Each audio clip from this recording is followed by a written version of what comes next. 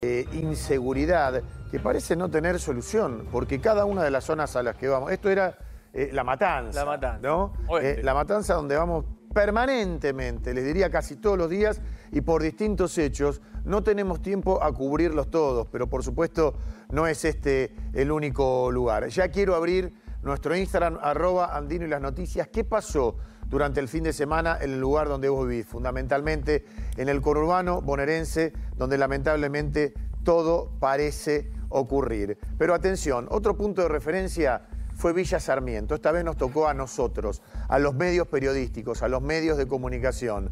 Eh, ¿Será una señal de alguien que no quiere eh, la cobertura de los periodistas? Porque le robaron, entre otros, eh, los, eh, las herramientas, los materiales, los equipos a los colegas de Telefe y Canal 9. Todos fuimos a cubrir un delito en el conurbano y terminaron robándoles. Y esto pasaba, un violento robo en Morón. Y acá les están robando a los compañeros camarógrafos. Los micrófonos, los equipos periodísticos, reiteramos, de Canal 9 y Telefe, podríamos haber sido nosotros también. Y tuvimos ahí, ¿eh? Ahí. Que se llevaron, intentaron llevarse el trípode. Imagínate lo que son, lo pesado que son estos equipos. Esto es la calle Virrey Liniers y Juan Chazaín. Habían ido a cubrir lo que había sido el robo a una familia, doble robo, porque cuando se iban estos miserables, también le robaron a un delivery. Impunidad absoluta que queda grabada en las cámaras vecinales del robo que sufrieron esta mañana los colegas de Canal 9 y Telefe, que acaban de hacer la denuncia, pero yo estoy hablando con la fiscalía porque entiendo que el hecho es de público conocimiento y debería ya actuar de oficio, previo a la denuncia, para acelerar los allanamientos. ¿Por qué?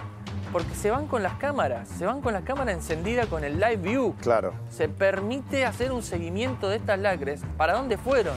Y sabemos para dónde fueron, Guille, porque lo hacen siempre, van para el barrio Carlos Gardel, lamentablemente. Sí, ahora vamos a hablar, eh, Germán, de ese triángulo en donde parece ser una zona liberada, pero eh, entre las personas que se salvaron de milagro estaba nuestra compañera Selmira Polaco, que está en la comisaría allí local, eh, con los vecinos, porque los vecinos quieren que los periodistas vayan, no quieren que esta pelea la los delincuentes o los poliladrons. Selmira, ¿cómo estás? Buen día. Estamos en la comisaría quinta de Morón. Nosotros fuimos a cubrir el robo en la calle Virrey Liniers, correcto, al 450. Y los vecinos, una vez que llegamos, dijeron gracias a Dios vinieron los medios y se va a dar difusión de lo que estaba pasando. Vimos como dos motos pasaban y miraban los equipos. Y yo le digo a Darío, estos son chorros, le digo, y si estuviésemos solos nos, ya nos hubiesen robado. Nos metimos adentro del auto y en menos de 30 segundos las mismas motos volvieron y directamente fueron a atacar a Canal 9 y a Telefe. Solamente les robaron las cámaras y los equipos. Canal 9 siguió transmitiendo porque se llevaron el live view, la cámara prendida, Claro. y se ve cómo ingresan directamente al barrio de emergencia a Carlos Gardel. Nos vinimos a la comisaría Quinta de Morón, porque primero fuimos a la de Ramos, pero nos dijeron de que no era la comisaría que correspondía y que nos vengamos para acá. Selmira, Estamos en 3 de febrero al sí. 900. Vamos a ver ese robo Sí. en vivo y cómo siguió eh, funcionando la cámara de Canal 9. A ver.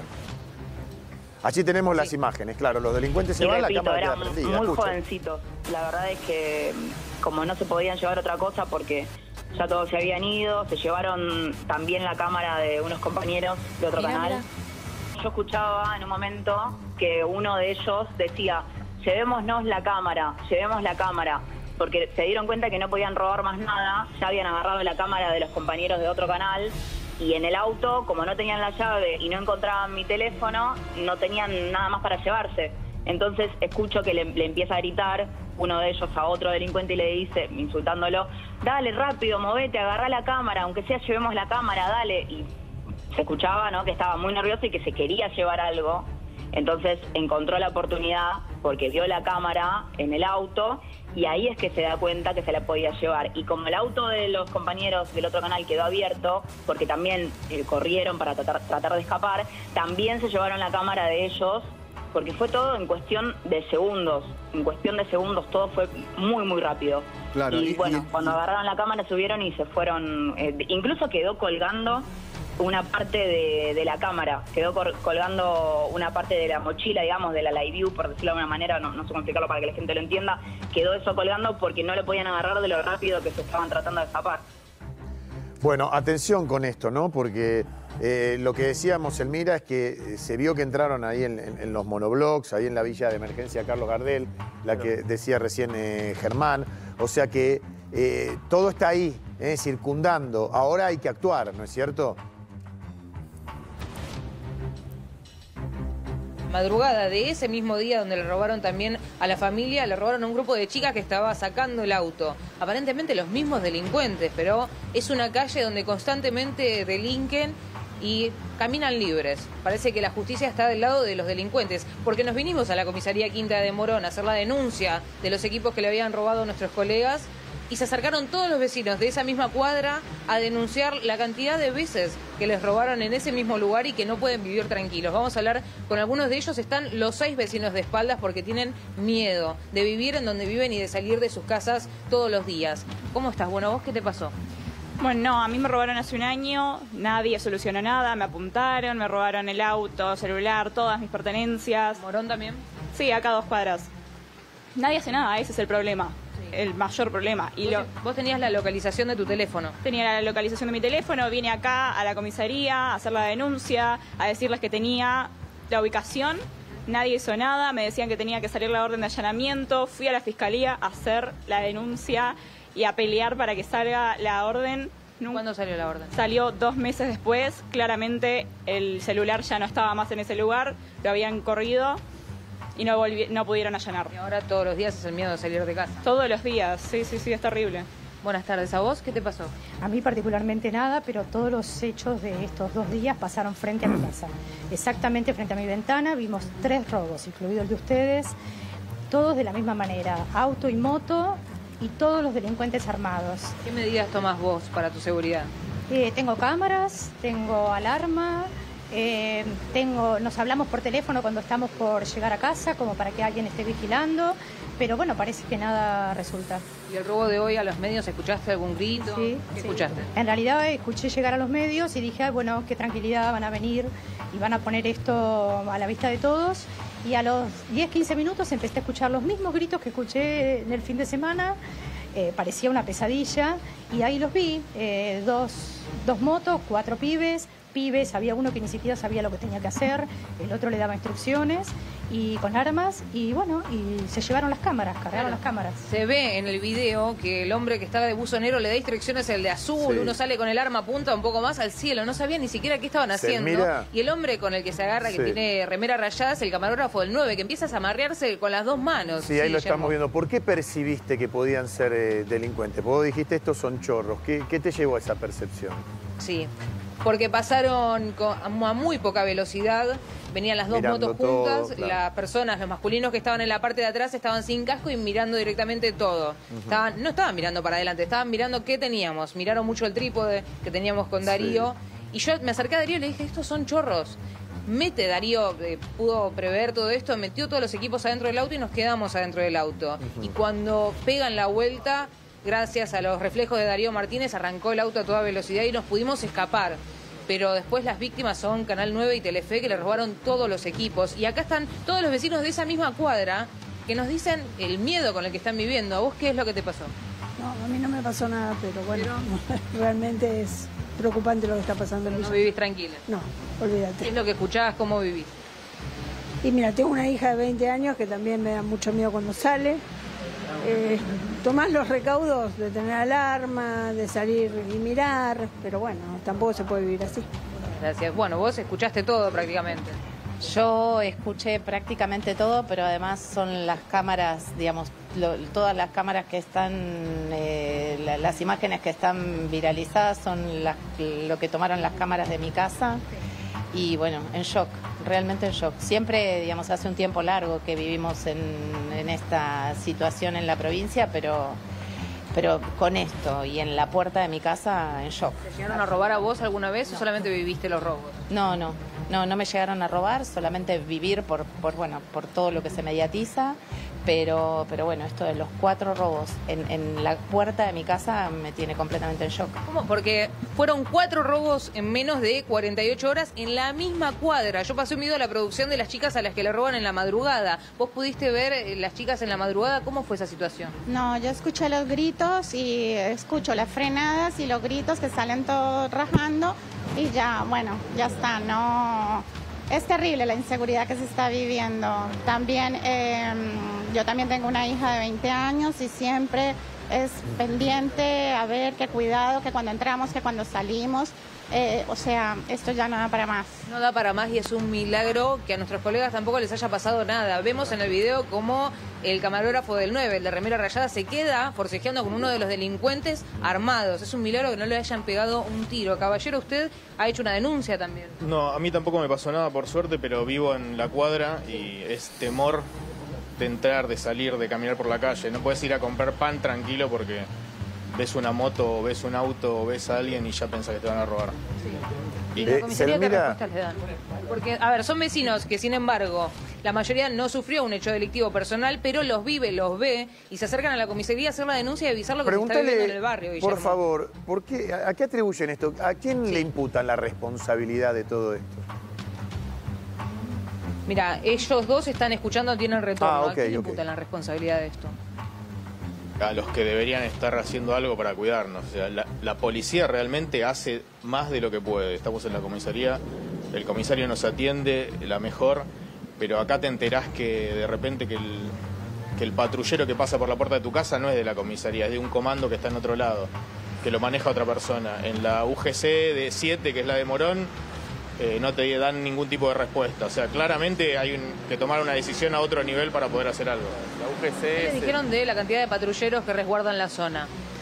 La comisaría en sí tiene un único patrullero que está asignado a todo tipo de tareas, tanto administrativas, traslado de detenidos, entrega de cédulas y frente a un hecho delictivo se da intervención al comando, que es quien tendría un patrullero circulando por la zona y que es el que atiende todas las, eh, todos los hechos delictivos que Ahora, suceden. sí, ahora entendemos por qué los delincuentes caminan tan tranquilos por la calle No, y eh, viven delinquiendo en la misma cuadra. Un solo patrullero para todo ¿Sabes Villa por qué te lo pregunto? Yo no...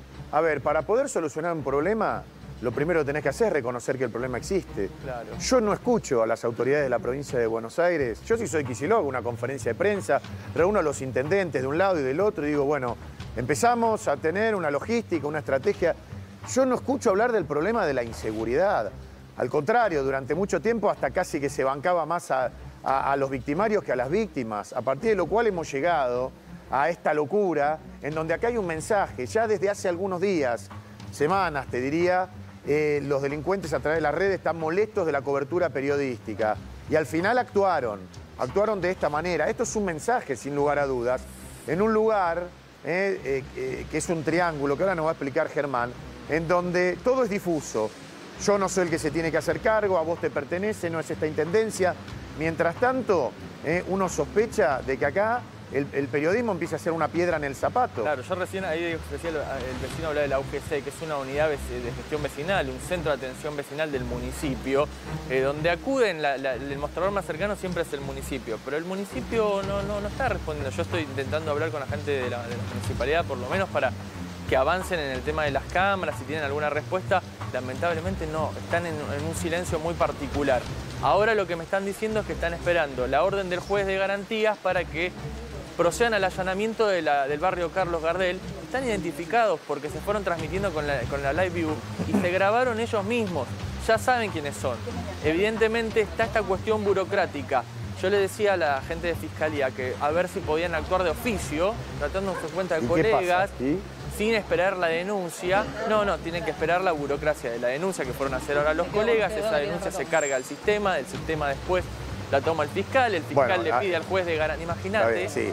Mientras tanto, te- ya están reducidas las cámaras, ya vendieron todo. Perdón, Selmira, quiero seguir escuchando a los vecinos que no es un hecho menor que estén de espalda, porque tienen miedo y están muy bien ¿eh? Eh, de, de poner la cara y después venga la venganza. Pero también celebro que haya muchos, que, muchos, un par que dijeron que no les había pasado nada pero que están en solidaridad con los vecinos que sí les pasó. Uno no puede mirar para el costado en estas circunstancias. Sí, estamos con dos vecinos justamente que no vivieron un hecho de inseguridad personal, pero desde la puerta de su casa ven la inseguridad constante y los robos y los delitos. ¿Y cuál es la solución? Mudarse a otro lado. Así, sinceramente, o sea. Mudarse a otro distrito, a capital, no sé, por ejemplo. Pero, Eh, a ver, pará, déjame desde la mira, comisaría, déjame sí. hablar con el joven. Te están escuchando, Sí, sí, sí. ¿cómo te va? No te voy a preguntar el nombre, te quiero resguardar. Te habla Guillermo Andino. Lo que pasa que, eh, la verdad que da, da bronca, te entiendo, pero da bronca, porque si vos te mudás, están ganando los delincuentes la batalla. ¿Sabés lo que pasa? A los de- o sea, esto puede ter- no termina mal de milagro. Para que los paso de costado porque se se está mojando con la lluvia, Ah, lo ok, pongo acá, mirá. ok, sí. Para, para. Tormentón Guarda, que se viene, Guarda, ¿eh? guarda. Ahí está. Sí. Listo, perfecto.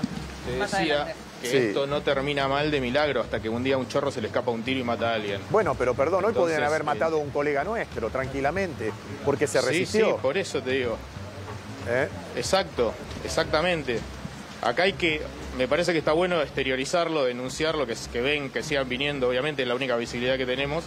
Y claramente que desde, si los que tienen que hacer no hacen nada, que lo hagan los que están más arriba de esos. O sea, acá en, en otros momentos se ve a Policía Federal, ha venido Gendarmería caminando por el barrio. Eh, digamos, claramente no hay una estrategia para prevenir esto. Estamos liberados a, a la única patrulla que está dando vuelta. Si vos me decís que tenés Sinceramente una no sé qué decirte. Bueno, pero ¿sabés qué? Por lo menos eh, que nos cuentes que hay una sola patrulla dando vueltas, eh, mientras que hay eh, decenas de delincuentes que por supuesto les ganan en número y hasta en poder arma- armamentístico. Porque muchas veces las armas son más Sí, poderosas, correcto. la de los chorros que la de la policía. Sí, totalmente. Tenés, tenés razón. En esa línea, Ahora, Guille, sí. perdóname, bebé, se da la, la casualidad que le roban ayer a una fiscal con armas de... de- Pero ¿y la torturaron? La, la torturaron O sea, ¿qué más podemos- que qué la más puede fiscal pasar? Gabriela Millán del mismo departamento judicial, ahí me cuenta que está interviniendo la fiscal Silvana Bonini de la UFI 1, que está esperando la orden del, del juez de garantías para hacer el allanamiento, pero teniendo en cuenta eso, si le toca a un fiscal, que le entran con un grillete, que la, que la ahogan, que tienen armas... ¿Qué le queda a los vecinos que están de espalda ahí? ¿Qué le queda a los ¿Qué les queda a ustedes? Quiero escuchar a la señora que está ahí, Selmira. nosotros? Claro. Sí, ¿Qué exacto, pensás de esto? sí. ¿Qué nos queda? Que, que lo, y lo, lo único que hacemos, ahora, por ahora, lo único que hacemos es mirar, porque puntualmente a nosotros particularmente no nos pasó nada. Pero la realidad es que los cuatro hechos fueron con delincuentes armados. Podría haber pasado cualquier cosa y lo que sentimos es que en cualquier momento Bueno, ¿ves? matan a alguien. Dios no Y lo quiera. Podemos ser nosotros lo- Pero- a los que maten, porque la realidad es esa también. El problema que tenemos Nada. en el conurbano es que a quien no le pasó como ustedes, no cree que están resguardados. Creen que por ahora tuvieron suerte, pero que les puede llegar a pasar en cualquier momento.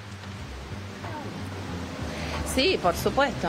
Aparte, particularmente, y en este hecho, digamos, fue justo en el frente de cuatro casas los cuatro hechos. Es, una cuadra de 100 metros, pero esto pasó en, no sé, en 15, 20 metros. Y la realidad es que estamos, estamos varios vecinos de la cuadra, pero, pero nosotros que somos los que vimos ahí todo, es como que, que sentimos un, un estado de indefensión absoluto. ¿no? no sabemos realmente qué hacer porque las autoridades no, realmente, particularmente, no creo que tengamos mucha. mm, Cuando este, decís las autoridades, ¿a quién te Viendo todo referís? eso, saben que en cualquier En momento les cualquier, toca. momento, en cualquier momento somos nosotros. Cuando decís las autoridades. En realidad. ¿A quién te referís? Y yo, digamos, vamos desde, desde el, em, como por orden, ¿no? Primero desde el municipio, después desde la provincia y después desde Nación. En realidad, nosotros venimos a la comisaría, que es la, la autoridad barrial, si lo querés. Después, mm, el municipio. En, en el barrio tengo entendido que hay bastante repercusión con el municipio y con todo, pero claramente no ha pasado nada hasta ahora. Porque si no, no hubiésemos tenido estos cuatro hechos en unas pocas horas. Sí. Entonces, realmente no, no, no, no le vemos solución si no hay una propuesta por parte de las autoridades que ya tendrían que ser a nivel provincial. Claro. Digamos, a nivel municipal primero y a nivel provincial después. Del barrio hasta lo que es Carlos Gardel, que es donde la mayoría de los delincuentes, hay dos solas, digamos, hay un muro natural, natural no, artificial, que vendría a ser acceso este, y hay dos vías de escape. Una que es Rivera Indarte, que es un túnel, pasa por abajo, y otra que es Norteamérica. ahí se soluciona fácil. Se pone un control permanente. El control está a la noche los fines de semana y buscan más que nada cuestiones de tránsito para hacer multas. Para picar boleto y, y- y, este, Eh, pero no, No, digo, no digo que esté mal, pero ¿sabes qué? Si vos, Germán, estás describiendo la zona y más o menos das como debería ser una logística, Pero son dos pasos, bueno, que hay, me- pero la, pero la gente de Morón lo tendría que saber. ¿Por qué? No, no hay, entiendo, los vecinos han reclamado, ahí se echan la pelota igual municipio, provincia, pero digamos, si son dos pasos nada más para fugarse, ¿por qué no hay un control permanente de cualquiera de las fuerzas? Todos sabemos a dónde se escapan los delincuentes y de hecho nosotros lo dijimos antes que aparezcan los videos del 9 donde graban la entrada a la Gardel. Ya sabíamos que habían escapado para ese lado. Sabíamos el recorrido que habían hecho y los vecinos mismos lo decían. Entonces, ¿qué es lo que tiene que esperar la justicia para accionar y poner un control en la entrada de este barrio, en los canales por donde se escapan? Sí, por supuesto. Aparte, en este abajo del- de la autopista, como bien vos decías, está el control. No, no tengo del todo claro si exactamente solo funcionan los fines de semana, Muy porque veces. se ven efectivos apostados. Sí. Mm, sí, son para controles de tránsito, pero la realidad es que esta mañana, por ejemplo, con el robo de las cámaras, no sé si vieron el video, Sí. pero no se veían la- los chicos, que digamos, lo- los delincuentes que iban en la moto, no se veían porque estaban tapados por las cámaras. Nadie vio esa situación. Si no hay un control que haga un cerrojo y hay un solo móvil en la villa, lógicamente no vamos a, a poder eh, Eh, disminuir esto. No, no. Ellos roban tranquilos. Mira, Sí, no se puede tapar el sol con las manos. Eh, por más que quieran, no sé si de los municipios o de los chorros de que, están en distintos municipios, que no vayamos, vamos a seguir yendo. Eh, y tenemos que estar cuidados, evidentemente. Lo que pasa es que a veces que el, que te tiene que cuidar es el que también está molestando. ¿eh? porque, porque son poliladron, porque permiten, no quiero simplificar, pero todos sabemos que hay zonas liberadas, que hay zonas difusas, en donde uno hoy está molestando haciendo la cobertura, porque antes se robaba y se robaba fácil, y ahora ya no tanto, pero no vamos a dejar de ir. Eh, Selmira, volvemos en algunos minutos agradeciéndole a todos los vecinos que están allí, Muy bien. eh, de espaldas. Esto es todo un, todo un mensaje. ¿eh? Queremos hablar, pero tenemos miedo, y es lógico. O el miedo es inherente a cualquier ciudadano hoy, sobre todo que vive en el conurbano, que puede ser una próxima víctima. Ya estamos